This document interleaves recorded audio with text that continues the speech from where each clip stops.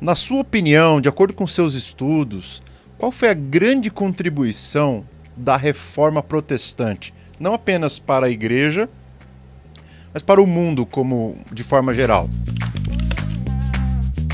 Certo. É, eu, eu, confio muito em método. É, humanamente falando, eu confio muito em método. E a reforma foi uma mudança seríssima de metodologia, ou não é bem isso que eu estou dizendo, mas algo próximo disso, é o que o Doyle Júnior, né, já faleceu há muitos anos, ele, ele que escreveu uma grande obra sobre o uh, conhecimento de Deus de Calvino, uma obra que publicou no final dos anos 50, início dos anos 60. É, ele fala que a reforma foi um movimento hermenêutico. Hum. É, é, uma tese parecida com J.G. Meithen, o cristianismo e liberalismo. É, eu creio que a reforma, além disso, é, foi uma mudança de referencial, ou como eu gosto de chamar, de quadro de referência. Porque quando você muda a maneira de olhar a realidade, os efeitos disso são longínquos, porque você não tem um controle dos efeitos disso. Então eu posso ensinar para você que este, este é, pecinha aqui do, do, do, mouse, ela deve ficar aqui, ao invés de aqui. Tá, muito bem. Legal, aprendi. Ah, não, essa pecinha sempre aqui, eu aprendi e tal. Mas é só isso. Se você começa a aprender a ver a realidade dentro de um outro prisma, que eu gosto de chamar de quadro de referência, ou usando a figura de Calvino, dos óculos, isso muda tudo. Onde você colocar a sua mão, porque você vai olhar a ciência diferente, a filosofia diferente, a teologia diferente, a vida diferente, a educação dos seus filhos, o seu trabalho, a eternidade. Então, para mim, a grande contribuição, quer dizer, uma das grandes, primeira delas, é desfocar você de uma perspectiva e mostrar uma outra. Esta outra, ela procura ser bastante exaustiva, que é olhar a realidade a partir da palavra de Deus.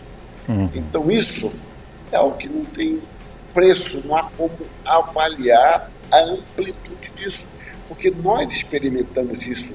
Então você é um cristão, é um reformado, mas você não é um ser acabado no sentido de que tudo que você tem você olha pelas escrituras, não, você vai aprendendo você é um jovem, vai namorar e nunca pensou em namoro, e que a teologia reformada tem a ver com namoro, tem a ver com noivado, com casamento.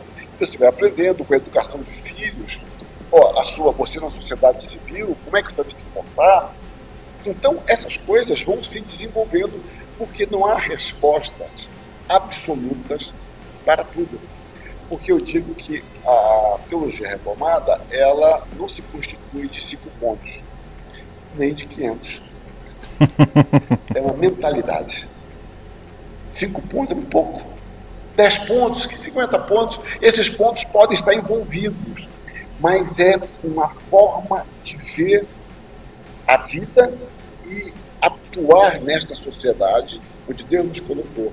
E isso eu acho esplendoroso como a teologia reformada ela é ou pode ser libertadora. Libertadora. Agora, adquirir uma mentalidade reformada é muito difícil. No Brasil, é, por exemplo, nós somos é, presidencialistas por cultura.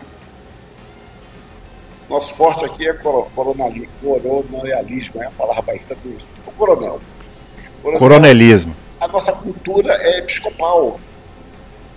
Então você é reformado, é calvinista, de, eu até brinco, né, de três, quatro pontos, tal, mas a sua mentalidade não é retomada.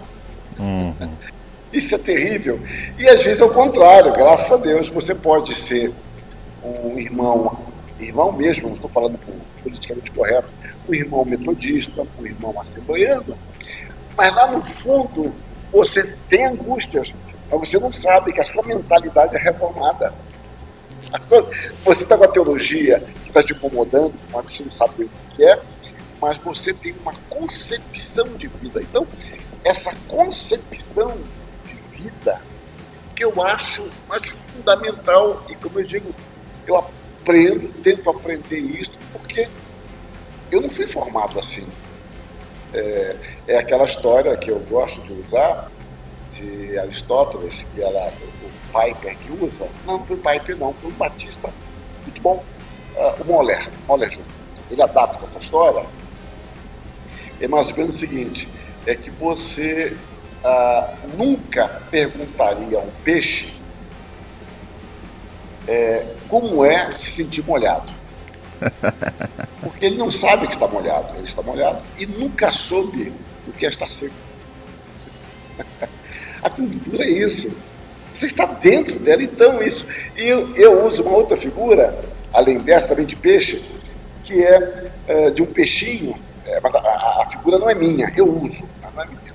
É, e a pessoa usou dentro de um outro modelo que eu nem sei mais qual é. Eu apropriei e apliquei a isso. É um peixinho andando no mar, no oceano, e encontra um peixe mais velho.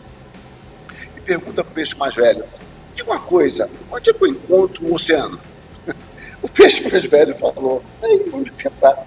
Falou, não, aqui não, aqui é um monte de água apenas. Eu procuro um grande oceano. E sai da procura. O grande oceano estando nele. Isso é cultura. Então nós estamos tendo uma cultura, é, uma mentalidade não reformada.